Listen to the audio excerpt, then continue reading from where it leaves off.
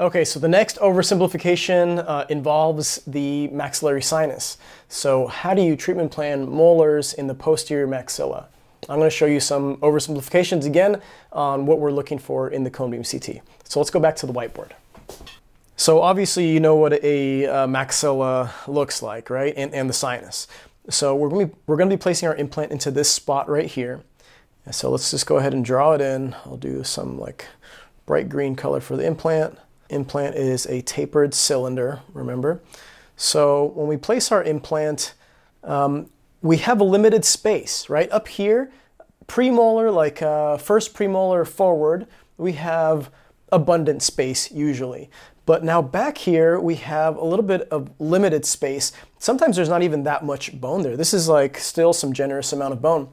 Um, so in order to place our implant, what I'm looking for is at least eight millimeters. So eight millimeters of height. I don't know if you can see that very well. Let's see, I'm gonna write eight right here. Eight millimeters of height right here. Now, if we go into the maxillary sinus, let me blow that up even more. So if we go into the maxillary sinus and actually break past the floor, so let me go ahead and delete some of that. There is a membrane, right? There's a sinus membrane right here. There's a sinus membrane right here. And if we drill through here and accidentally puncture that, uh, will cause some problems, right? So we don't want to puncture that membrane. Uh, we don't want to introduce bacteria into the sinus. We want to be respectful of that membrane and try not to disrupt it too much. But if our implant did go past the floor of the sinus, say like a couple of millimeters, um, sometimes that membrane, or often that membrane, is able to regenerate over that implant, right? The, the, the new sinus level will be a little bit higher. Sometimes bone is actually able to, to build on top of that. That's why, so, that's why sinus lifting works.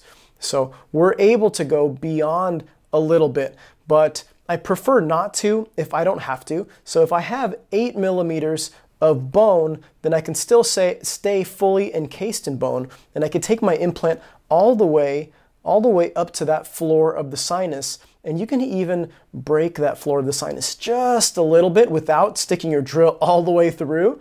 Without doing that, you can just break the floor just a little bit and engage your implant there, and you're totally solid. Uh, so that is that's why I look for eight. If it's if it's less than eight, sure, there are still ways you can make it work. You can place a shorter implant. You can do uh, sinus augmentation. You can do osseodensification. There are things you can do, but I'm looking for eight right here. If there's eight millimeters of bone, it's looking pretty good for me in terms of placing an implant in my cone beam. And we are going to look at this stuff. Um, we are going to look at this stuff in a cone beam scan, but you need to understand it here first before we move on to that scan. So I hope that makes sense.